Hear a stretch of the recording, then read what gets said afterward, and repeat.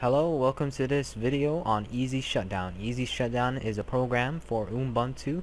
Uh, if you right click on it, you can set on how many minutes or hours when to shut down your computer. Uh, if you're downloading and when it's done, it can automatically shut down. Or if you hover to Easy Shutdown, this window should pop up and you can make it longer than just one hour. You can put five hours or whatnot.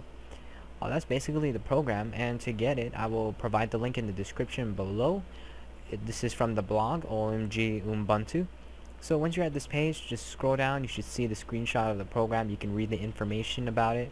Continue to scroll down until you see download links and more can be found at launchpad.net when you click on uh, click on that link once you click on that you should arrive at this page.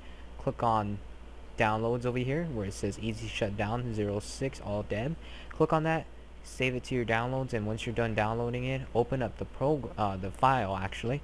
Ubuntu Software Center should pop up. You should wait a moment. And then after that there should be an icon that says install. You click on install and type in your password and it should be installed. I already have mine installed so that's basically it. This is the program.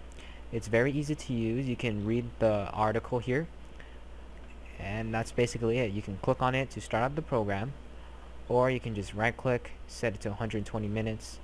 The program should start and it says two hours until it will shut down by itself or you can click stop and that's when it will stop it.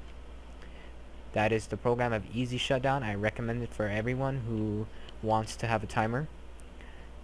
Thanks for watching. Goodbye